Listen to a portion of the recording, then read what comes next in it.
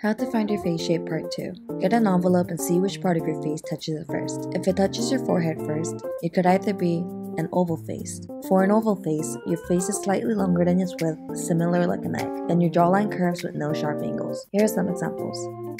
Or an oblong face. For an oblong face, your face is noticeably longer than its width. Here are some examples or an inverted triangle face. For an inverted triangle face, your forehead is the widest part of your face, and you might have a narrower or pointier chin. Here's some examples.